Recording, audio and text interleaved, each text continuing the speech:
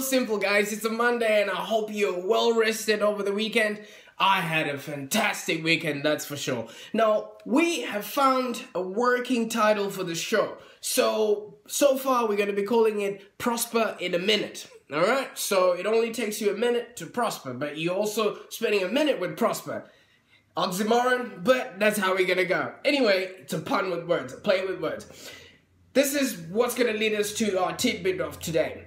Please, guys, when you're online, command authority, attention, and trust.